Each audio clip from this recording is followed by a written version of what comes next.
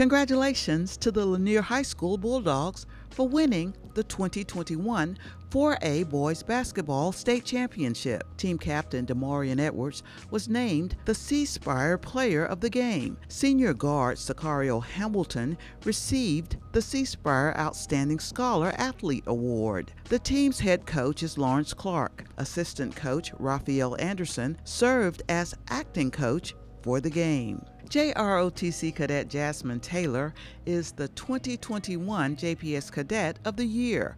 Promoted to Cadet Colonel, Taylor will serve as the JPS JROTC Brigade Commander for the school year 2021 22. As a junior at Callaway High School, Taylor currently serves as the 4th Battalion Executive Officer. She plans to become the valedictorian of her class by maintaining and increasing her 4.0 GPA. After high school, Taylor plans to become an animal scientist. JPS will be recognized for more than a dozen successful partnerships during the 19th annual MAPE Awards. MAPE is the acronym for the Mississippi Association of Partners in Education. The innovative projects receiving recognition represent schools and districts from across the state. The JPS School Community Partnerships receiving awards are Jackson Public Schools and Partners in Education, Lanier High School, and the Lanier High School National Alumni Association, Obama Magnet School, William Carey University School of Education, Chastain Middle School, Baker Elementary School, and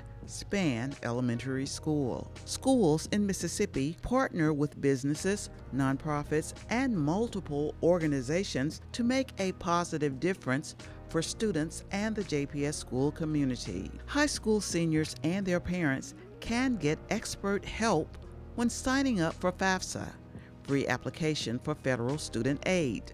The help is offered by Get to College a website designed to assist with convenient online appointments. Please visit our website and click on the Get to College FAFSA link to schedule your appointment. For more scheduling information, email gettocollegecenter at gmail.com. Jackson Public Schools and the Community Foundation for Mississippi announced a generous grant funded partnership to transform Jackson's public education system.